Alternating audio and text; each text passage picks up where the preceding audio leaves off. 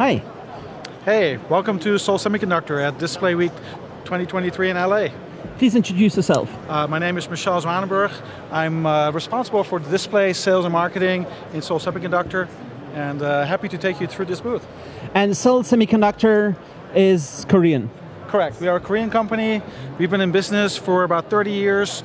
Uh, our focus is making LEDs for display market and also other markets, uh, but we uh, really focus on generating photons.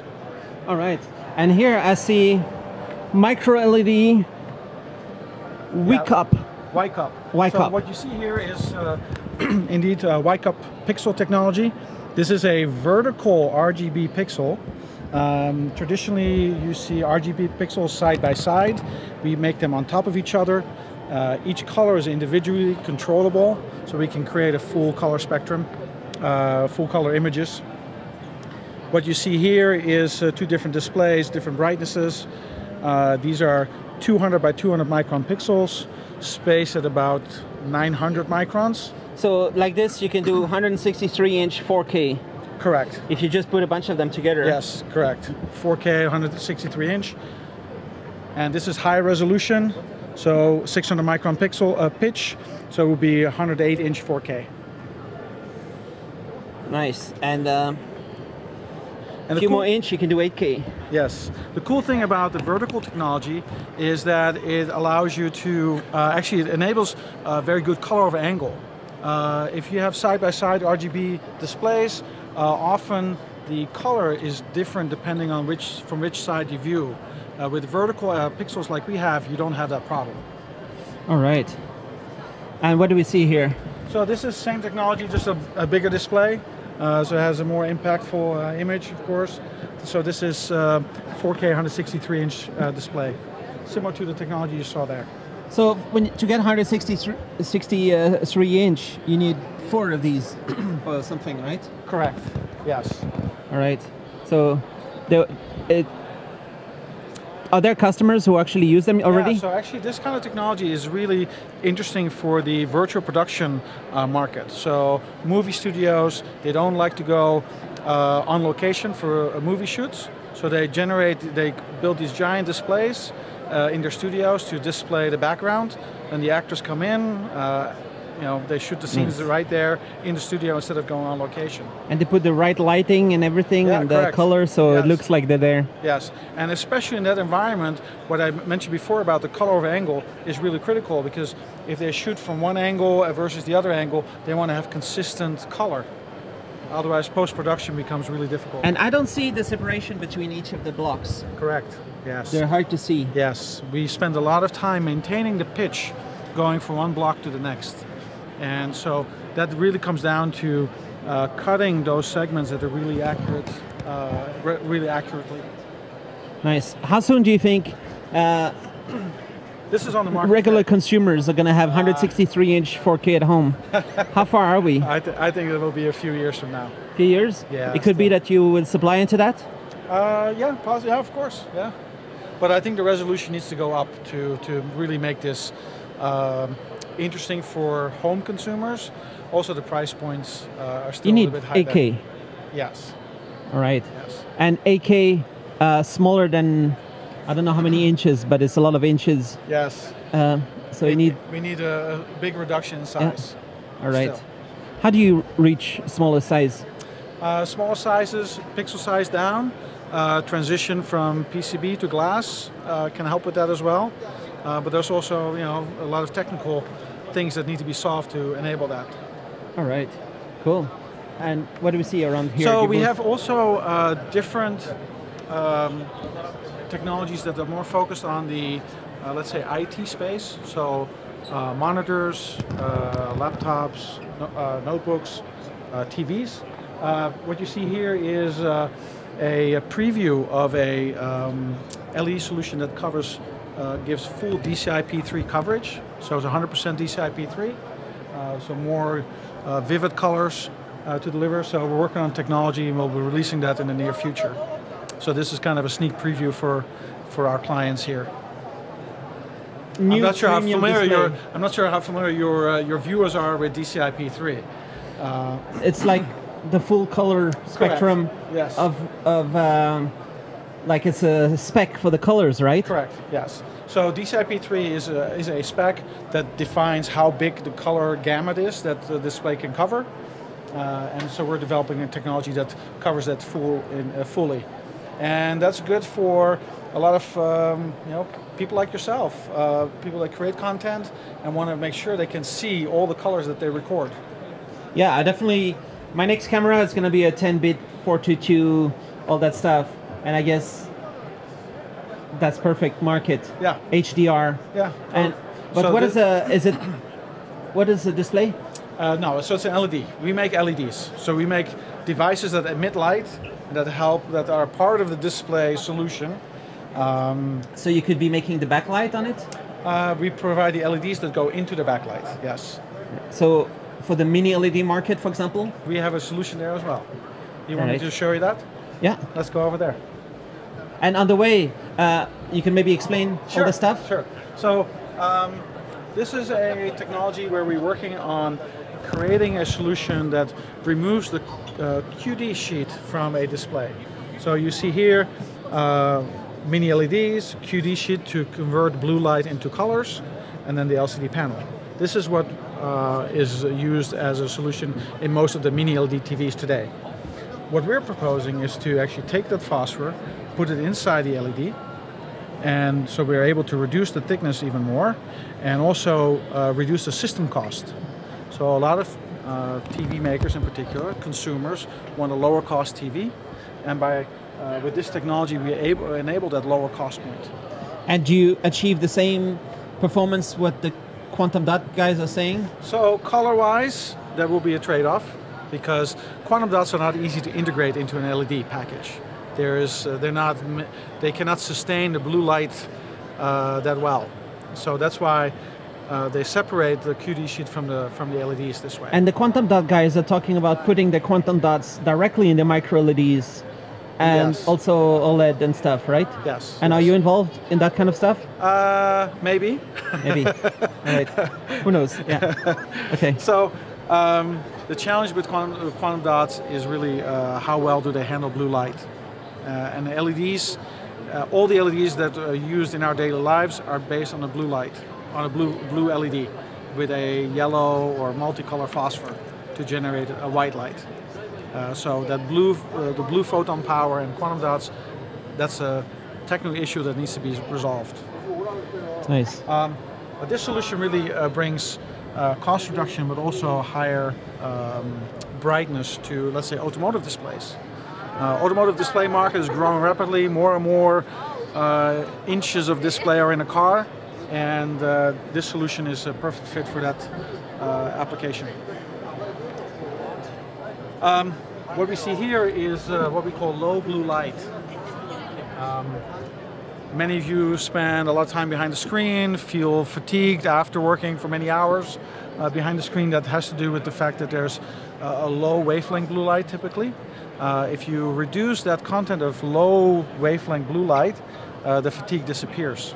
So a lot of monitor makers uh, are looking at increasing the wavelength of the blue to longer wavelengths to reduce that fatigue. If you don't do that without changing your phosphor recipe, uh, the display turns out yellow.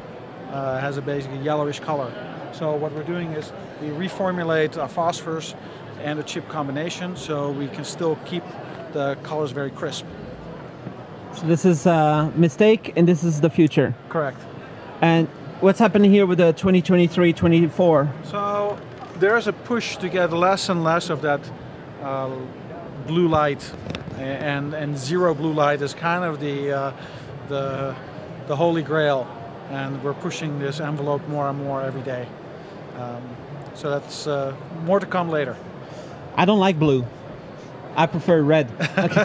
but uh, so so, but the, the images, the sky, the water is still blue. But so what are you is- talking about? Another kind of blue. Uh, so blue, yeah. If you if you like I said, uh, an, a white LED is a blue LED plus a phosphor, and if you take away the phosphor, it's just blue light, and that blue light is what uh, our our brain doesn't like, our eyes don't like. It gives the fatigue. Uh, so shifting that blue wavelength to higher values reduces that uh, sensitivity of the of the brain and the eyes. Uh, but you need to reformulate a new phosphor to work well with that, to maintain good colors in your in your display. So you can help all these nice people around the world to keep their eyesight Yes, longer exactly. and don't damage it. This would be a problem if the display industry is harming people. I don't think it's harming necessarily. It's more about uh, making it easier to work with a display. And here it says world's first technology. Yes. No wire, no package, no lens, Yes. and high voltage. So our technology, um, one of our key technologies is WICOP. Uh, WICOP is a brand name that is basically an LED without a package. So it's a chip that you can directly solder onto uh, a PCB and, and use it. And that's the key for our uh, mini LED technology. A, a narrow blue half width has less blue light fatigue. Interesting. It's just some live comments. Sure, Uh, sure. The more efficient the blue light source, the better the color conversion on the quantum dot layer. What does that mean? Are you The more efficient, can you uh, read the it one more time? The more efficient the blue light source, the better the color conversion when people use quantum dot. Uh, that all, all has to do with uh, how the quantum dot is tuned to the wavelength of the blue LED. So uh, quantum dot is a small particle that uh, you have to pump with the right wavelength. Uh, so it has to be tuned to each other. So it's it's like a marriage. You know, they both have to work well together. And mini LED with phosphor on the LED itself is impressive. Is that what you're doing? Ah, so that's the one that we showed there before. Uh, so that's a, a, a, an LED, but it's not a quantum dot. It's a regular phosphor. Uh, so bringing that to a quantum dot solution, that would be really amazing. It seems very bright. Yeah, What's so happening what, here? What we're showing here is really just how a mini LED display works. Um, so we have two displays side by side, the same TVs, uh, one without uh, one without LCD, one with LCD, and we show a high contrast image so that people can clearly see how the mini LEDs are turning on and off. So the different segments, so you can see how this works live. It's a lot of light that goes into a TV. yes. Is, uh, what's the brightness nits on that one? uh, so this would likely be. Uh, 2,000, 3,000, no, 5, no, no, it's 4,000? much less, much less. Like a 500 nit TV uh, with a 4% transmission through the LCD panel. So people have to do the math times 20-ish. Um, yeah, a few thousand nits of brightness from the backlight. 10,000 nits comes through, only 500 e- exits the display. Yes. So that's a LCD lo- it's very LCD inefficient. Yeah, the LCD panel absorbs a lot of light. And are you talking about making that better now? So what we're what we're doing for uh, mini LED solutions is we allow we are enabling thinner designs. So we've developed we've developed a method where we can uh, design the chip so we don't use any optics, but we have some um, let's say solid state optics on this chip to control the light output. And what we can do is we can tune the emission pattern together uh, to match it with the optical distance of the uh, of the backlight design. And there, with that, we have control over how many LEDs are used. So, customer wants lots of LEDs, great, that's the easy part. But if they want to optimize for cost and efficiency, then we can help them tune the radiation pattern so they can uh, have more freedom in how many LED, LEDs they use. What is uh, showing here? So that's uh, a cutout where we where we show the blue LEDs uh, with uh, diffuser, uh, the um, quantum dot sheet, and then another diffuser, All right. just to show the inner workings of this. Is your company a world leader in this field? Uh, yes, we are. Yeah, yeah, Yeah? yeah. So when we talk about, for example, uh, LCD displays, Mm-hmm. you've been in many of them. Yes, yes. And we talk about uh, mini LED, LCD displays. We supply in, we supply in all the in all the major brands that you can buy in the market. Yes. All right. And um, is it a problem if some of the mini LEDs break, or they're never going to break in the background? Because They don't it's break. they don't they just work. I would say other components break first. There's no burn-in. Uh, for LEDs, no, not really. Of course, there's uh, an LED has a certain brightness profile over life, but that's pretty consistent, pretty predictable. Uh, micro LED. Some people say it needs to be in a certain size to be called a micro LED. um, I don't know. Sure. There's a whole bunch of different micro LEDs happening, yes, right? Yes. Yeah. Are you going to be playing in the field of home use, mass production micro LEDs? Absolutely. Yes. So, so you're ready, or you're going to? We will. Yes. I can't say more. All right. cool. All right. Thanks a lot. All right. Th- that was the whole booth. Okay. Yeah. That's Cool. it. Okay. Thanks for making time to come see us. Cool.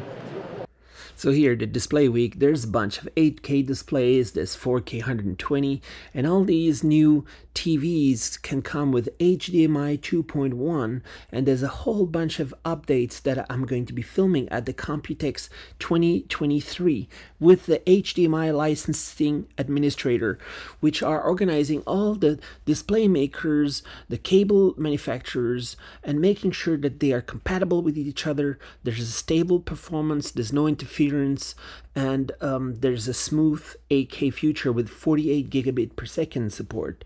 And there's the whole um, infrastructure for for certifying, for testing, for making sure there's no interference with the with the Wi-Fi and Bluetooth and stuff that people have.